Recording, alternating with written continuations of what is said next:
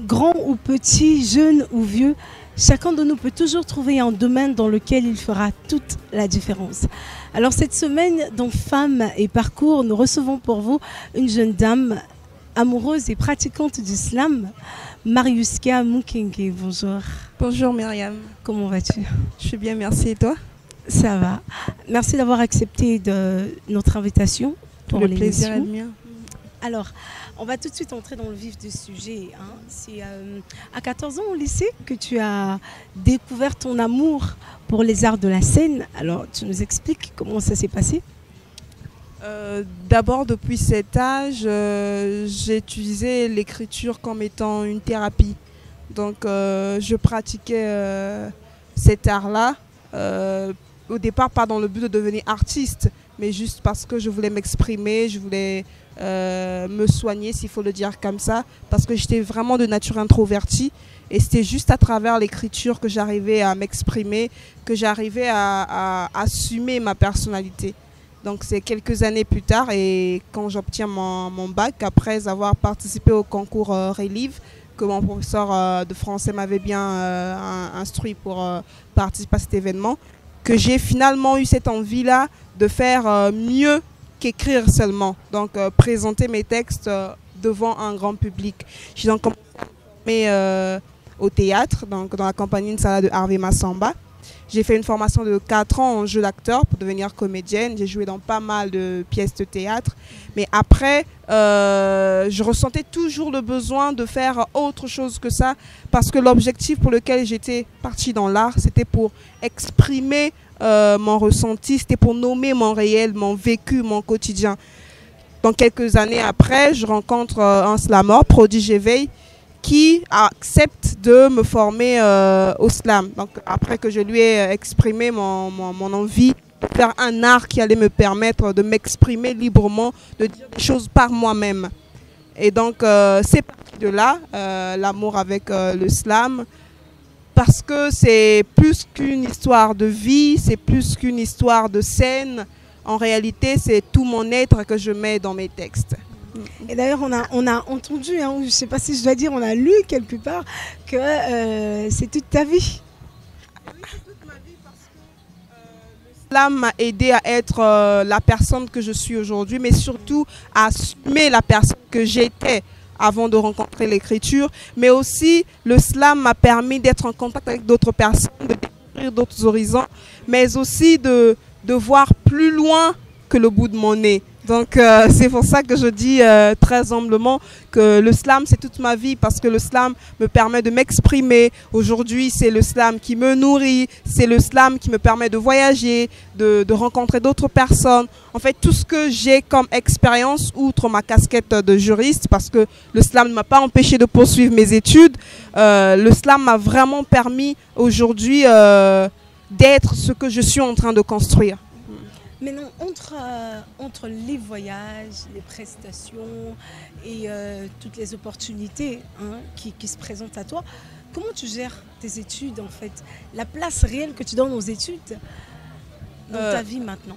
déjà, quand j'étais euh, à la fac, quand je parle de quand j'étais à la fac, dans le sens quand je faisais encore les cours euh, régulièrement, euh, très souvent je me fiais à mon planning. C'était vraiment une question pour moi de, de- de respect strict vraiment du calendrier.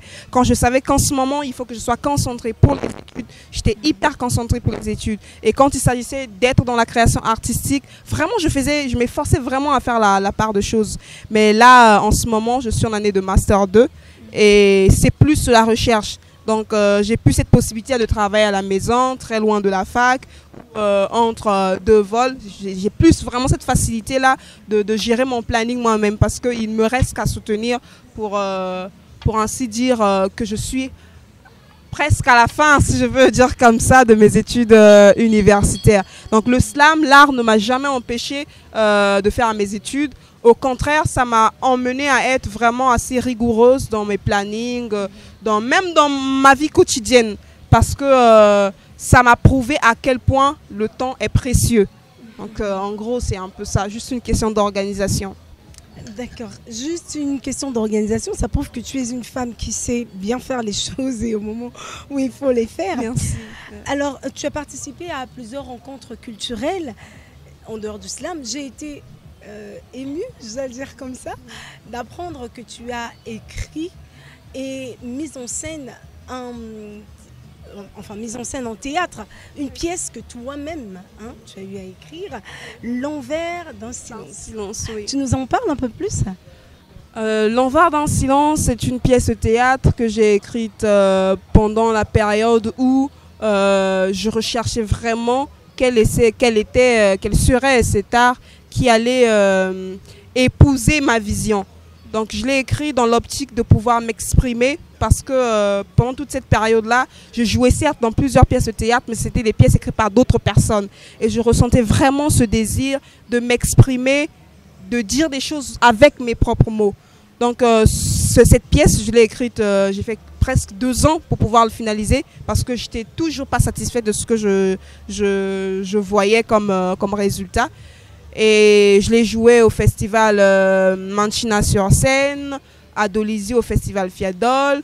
Euh, on l'a joué euh, la première, la, grande salle à l'Institut français du Congo avec le slammer Prodigy qui à cette période-là n'était pas encore mon coach en, slam. Mais on l'a joué aussi avec le comédien Boris plus tard lorsque Prodigy est allé en, en, voyage pour ses études. Donc c'est une pièce pour moi euh, qui résume un peu euh, non seulement ma thérapie, mais aussi mon regard en tant que femme, mon regard en tant qu'artiste face à ce qui m'entoure, face à la société. Donc c'est un mélange à la fois de ras-le-bol, à la fois de vécu, à la fois euh, de faire rêver aussi.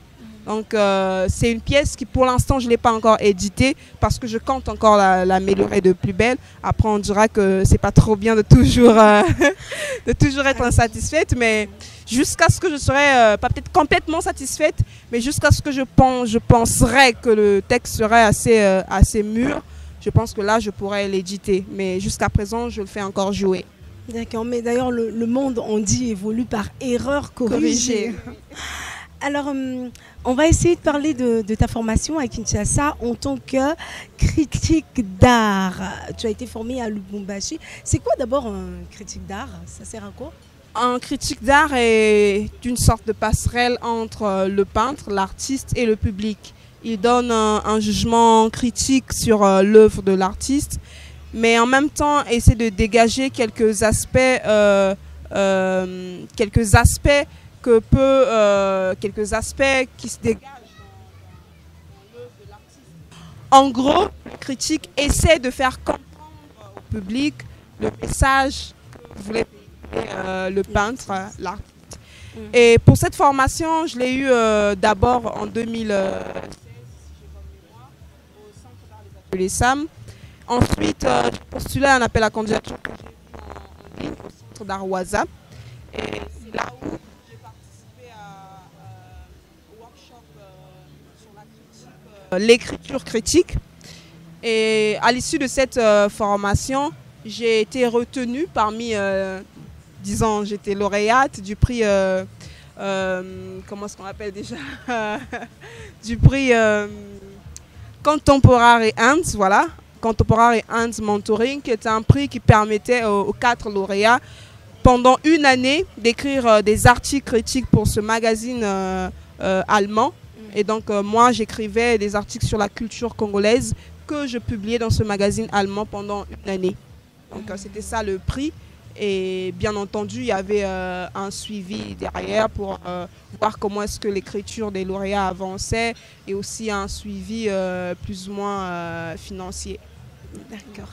Alors avant de parler de Slamunité et Slamouraï, qui est le single, le maxi single, qui aujourd'hui déjà, il y a un clip, je pense, qui est en ligne.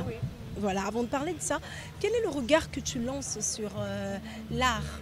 Euh, on peut dire l'art congolais, hein, l'évolution de l'art congolais. Quel est le, regard que toi-même tu lances par rapport à ça? Euh, Moi, je pense que l'art au Congo est un terrain encore euh, très vierge et très riche en même temps. Vierge, pourquoi? Parce qu'il y a encore beaucoup de talents qu'on n'a pas encore découverts, beaucoup de, domaines, de disciplines qui ne sont pas assez exploités, qui ne sont pas assez présentés au grand public Mais la matière, c'est pas ce qui manque. Moi, je pense que le Congolais est vraiment char est un homme chargé de talent. Et quand je parle de homme, c'est avec grand H, bien sûr. Le Congolais euh, vit avec sa culture au quotidien. Le Congolais est un artiste. Il suffit juste d'avoir des politiques qui vont permettre à ce Congolais-là de, promouvoir son art, de montrer au grand public son art. Sinon, euh, en gros, l'art au Congo est un, est un domaine vraiment à exploiter. À mon avis, ça devrait être la première, euh, euh, la première source économique du Congo.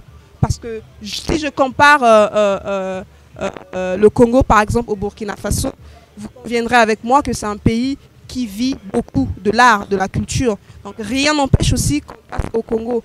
Parce que je me permets de dire que le pétrole, le bois sont des sources euh, qui vont finir par s'épuiser un jour. Mais la culture, ça reste l'esprit d'un peuple, ça reste l'âme d'un peuple, l'âme d'une nation. Et ça, c'est inépuisable. Donc moi, euh, ce que je pourrais dire, c'est qu'on s'investisse à fond, que ce soit, euh, comme c'est toute une chaîne, que chacun dans son domaine de prédilection essaie d'apporter sa part, sa pierre à l'édifice de cet art, à l'édifice du, pays dans le domaine artistique.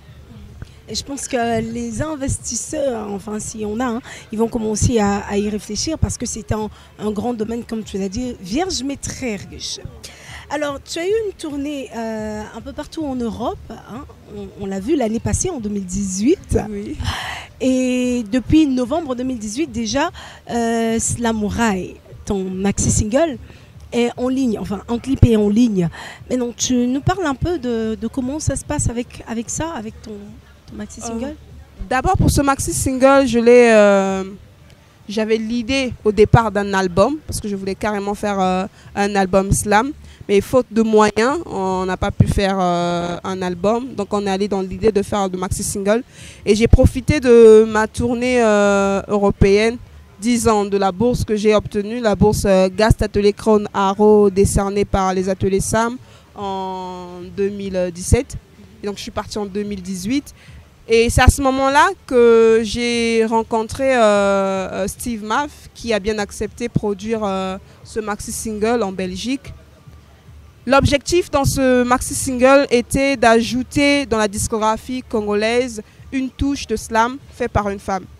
Parce qu'aujourd'hui, euh, j'ai beaucoup des amis slammers qui ont des maxi singles, des albums, mais il manquait une voix féminine, s'il faut le dire comme ça, euh, du slam dans la discographie euh, congolaise. L'objectif, c'était vraiment d'essayer de, bouger les choses de ce côté-là. Et ensuite, en dehors quatre titres ce, ce maxi single. Nous avons fait également un clip, donc Slamurai. Et le maxi single lui-même est, est, disponible euh, en ligne sur tous les supports de téléchargement légal. Et le clip est disponible sur YouTube depuis le 28 décembre 2018, si j'ai bonne mémoire. Donc euh, le clip est en téléchargement libre. Mais euh, le maxi single, lui, euh, il s'est acheté. ah oui, après. Hein, Jusqu'aujourd'hui, on ne l'a pas encore fait en, en sortie physique, mais déjà en ligne, les gens peuvent s'en procurer. Vous êtes en train de suivre Femmes et Parcours. Je suis en présence de Marius Kamukenge. N'oubliez pas d'inviter vos voisins, vos amis à s'abonner, mais également de nous laisser vos commentaires. Hein, vous voyez sur notre page Facebook, mais également sur YouTube. Alors, Mariuska, on va parler de slamunité euh, un concept original, je dois l'avouer. Alors, parlez-nous un peu de ça. C'est venu comment euh? Le projet Slam Unité est né du désir de faire euh, la promotion du slam en milieu rural, mais aussi de permettre à la jeunesse africaine d'utiliser le slam comme étant moyen d'expression, mais aussi comme étant une profession disons, une passion. Donc, c'est dans l'optique de susciter les, les, passions. Et dans cette vision de faire la promotion du slam, nous sommes allés dans les pays comme euh, le Cameroun, donc dans la ville euh, précisément de Pumban, en RDC à Lumbashi, au Sénégal à Dakar et au Congo ici à Dolisie. pourquoi ces villes? C'est parce que nous avons constaté que très souvent, lorsqu'on parle de l'art, lorsqu'on parle de la culture, on voit très souvent les grandes villes. Et les autres villes, très souvent, euh, sont mises de côté. Donc l'objectif, c'est de permettre à cette jeunesse-là de pouvoir profiter du slam comme étant moyen d'expression, mais aussi de pouvoir susciter des passions. Donc euh, en ce moment, par exemple, nous travaillons en partenariat avec euh, la délégation de l'Union européenne au Congo, l'ambassade de France au Congo et le centre Asie. Et dans, le cadre de ce partenariat, nous avons formé, nous formons les jeunes victimes de violences conjugales.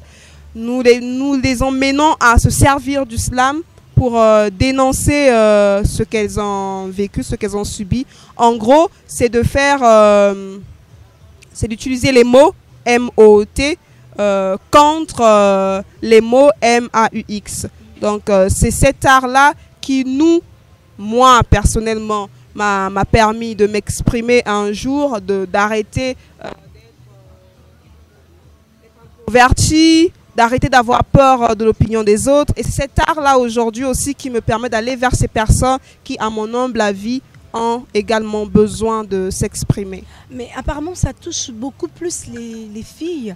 Est-ce qu'il y a aussi des garçons qui sont pris en compte Bien sûr, le, le, le, projet Slam Unité n'est pas un projet juste pour les femmes.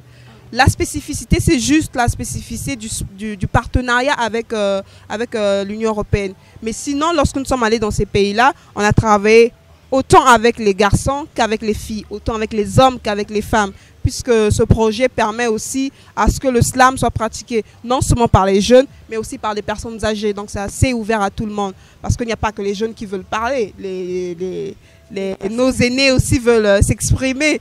Donc la spécificité en ce qui concerne les femmes, c'est juste euh, par rapport au, mois euh, de la femme, au mois de mars. C'est pourquoi on a privilégié euh, ces filles qui ont subi des violences conjugales, permettre d'utiliser le slam comme étant moyen d'expression, parler de leur vécu, mais aussi dénoncer sur la scène de l'IFC ce 28 mars à 18h.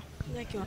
Déjà, vos agendas, hein, le, 28 mars à 18h, nous sommes à l'IFC avec Marius K et le concept Slam Unité. Alors, avant de, terminer avec cette interview, on va te laisser nous déclamer un petit quelque chose. D'accord.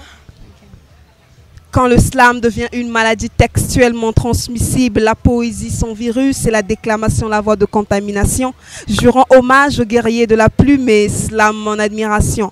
Le poète chez nous est une voix on accepte de porter notre croix, croire qu'un parolier est plus armé qu'une armée, les mots, nos balles, alors on appuie sur la gâchette verbale pour faire saigner l'encre de nos délires, nos désirs, nos déchirures et nos non-dits. Nous poètes, emportent notre temps, notre époque, notre réalité. C'est pourquoi on déclame avec des mots virils qui font bonder nos stylos, nos micros, mots verrouilles, mots qui parfois partent en couille, mots d'amour, mots de notre parcours, mots de bravoure.